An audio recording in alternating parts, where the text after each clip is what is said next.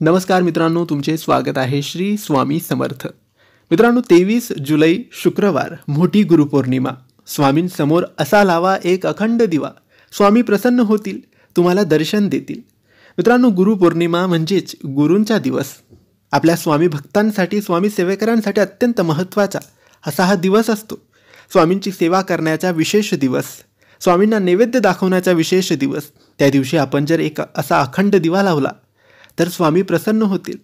मित्रांनो या दिवशी आपल्याला काय करायचं आहे की आपल्या देवघरात स्वामींची मूर्ती असेल किंवा फोटो असेल तर त्या फोटोसमोर किंवा मूर्तीसमोर एक दिवा लावायचा आहे अखंड दिवा जो रात्री बारा वाजेपर्यंत जळत असायला पाहिजे याची काळजी आपल्याला घ्यायची आहे.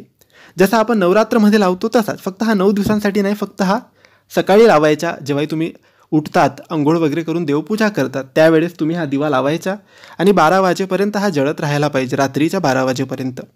हा दिवा तुम्ही तुपाचा तेलाचा लावू शकतात. फक्त काळजी घ्यायची आहे की त्यातले तूप तेल संपायला नाही पाहिजे.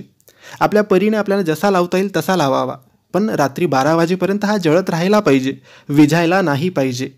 तर तुम्हीसुद्धा श्रद्धेने विश्वासाने असा एक दिवा लावा. तुमची इच्छा बोला आणि दिवा पेटवा. नक्कीच स्वामी याच्याने प्रसन्न होतील.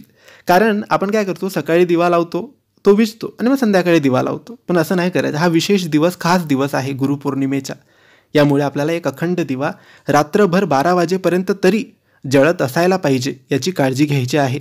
तर तुम्हीसुद्धा या गुरुपौर्णिमेच्या दिवशी स्वामींसमोर एक अखंड दिवा नक्की लावा. त्याची ज्योत मोठी ठेवा. म्हणजे ती ज्योत लवकर जळून विझणार नाही तो दिवा.